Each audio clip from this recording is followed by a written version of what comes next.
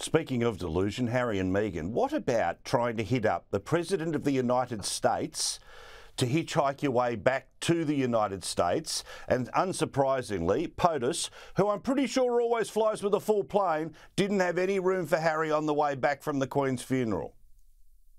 Paul Murray, in this world, there is sheer audacity, uh, there's cheek, there's chutzpah, and then there's the Duke and Duchess of Sussex, Harry and Meghan. so after the Queen's funeral, uh, they roll up and they ask the Bidens, by the way, could we have a hitch a ride with you back to the United States on Air Force One? Well, the White House had absolutely no difficulty in turning them down flat immediately. And I can't work out whether they're naive or simply crass because this great sense of um, entitlement sits very ill with people on both sides of the Atlantic because I haven't been on Air Force One, but I have been on the press plane that follows behind wherever the president goes on Air Force One. And there are very strict protocols um, at work. Um, for instance, um, the pool reporter who goes on board Air Force One to to write a pooled story for everybody about what happens on the journey, who the pre- president sees, who he talks to, and so on. He pays for his fare. He or she, the pool reporter, pays for his fare. When when the president uh, has members of his family who are not part of the official party, he pays their fare.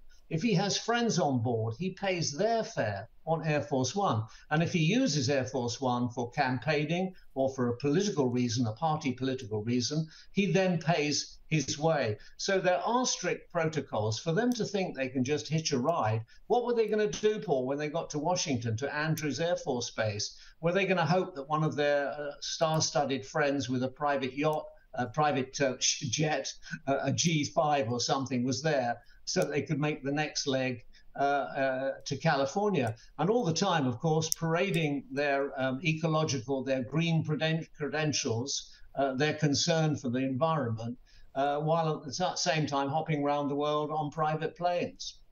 Yeah, as you say, sort of, you know, a whole new version of hubris. The idea that you'd be saying to the President of the United States, hey, mate, can you give me a lift? By the way, can you go to the other side of the country first and drop me off? Yeah, yeah, yeah, I know you've got stuff to do, but, you know, we have got, we've got a documentary to make. Now, you mentioned a yacht. Yeah, well, this uh, you is, know, uh, you know, this is, the, this is the most famous aircraft in the world. And of course, the security conditions of the security arrangements are massive and quite rightly so because there are a lot of mad people out there. We know that. I mean, to actually think that they could uh, bum a ride, if I can put it like that, in that way with POTUS and, and Jill, uh, Jill Biden, his wife, on the basis of knowing them. But of course, this does tie in with uh, the uh, widely reported and believed by people like me that um, uh, Meghan Markle, uh, the Duchess of Sussex, has a- political ambitions. And if she does, they're all on the blue side of, of, of, the map. They're all on the Democratic Party side. And she probably sees herself with a, uh, with a political role in the future, uh, whether as a congresswoman or a, a senator, even. Who can say uh, the limits of her ambition? Because I'm sure they're great.